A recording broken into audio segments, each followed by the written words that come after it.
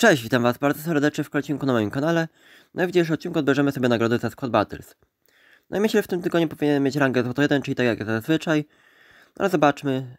I tak jest, mamy rangę złoto 1, więc odbieramy sobie te nagrody. No i przejdziemy do otworzenia paczek. Na początku może otwórzmy sobie mieszaną paczkę piłkarzy Prime, zobaczymy co tutaj wypadnie. To chyba Conmebol, tak jest. I znowu nie naprawili, nadal nie naprawili tego błędu, że się y, ten piłkarz wyświetla na całą kartę. Ok, no tutaj bardzo nie ma nic specjalnego. Więc raczej nawet nie będę wystawiał tych piłkarzy na sprzedaż, tylko wyślę ich sobie do klubu, bo mogą się przydać później w jakimś SBC. Ok, przejdźmy teraz do kolejnej paczki. Może niech to będzie duża złota paczka premium. Zobaczymy co tutaj wypadnie. Jest Bensebaini. Zobaczmy co jeszcze będzie. Strój Getafe. Jest parę innych kart. Ok, styl gry Kotwica, całkiem przydatny styl gry. Jeszcze parę innych kart, trochę kontraktów. No i jest duplika strojów od Fordu i to widzę, że teraz te stroje trochę więcej kosztują. Ale okej, okay, myślę, że powysyłam sobie też część tych kart na listę transferową.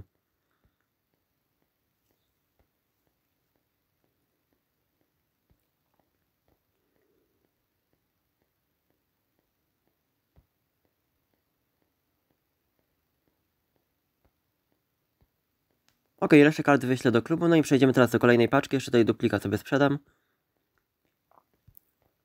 No i teraz y, paczka piłkarzy Electrum Prime, zobaczymy co tutaj wypadnie, chyba Conmebol albo Inform, nie to jest Conmebol. Ale mamy Muriela, jeszcze jest Vidal.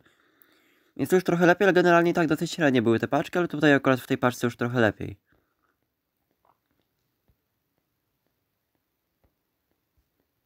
Ok, może tych yy, rzadkich piłkarzy powysyłam sobie na listę transferową, bo trochę mógł na nich zarobić.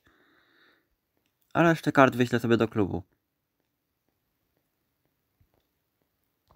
Ok, chyba jeszcze powinien mieć też paczkę z podglądem, więc sobie zobaczymy, czy wypadnie coś ciekawego.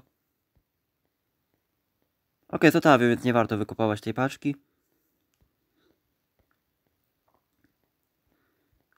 Ok, jeszcze na koniec odcinka przejdziemy sobie do składu, pokażę wam jaki mam zespół, bo trochę go wzmocniłem. Jak widzicie wygląda on następująco. Kupiłem De Bruyne do środka pola, no i powiem wam, że to naprawdę niesamowitym pomocnikiem, bo jego strzały z dystansu są naprawdę niesamowite.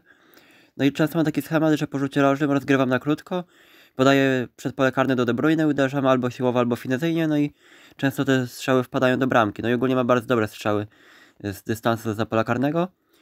No i też sobie SBC Mareza, kupiłem Jezusa na atak, no i na lewą obronę kupiłem Cancelo.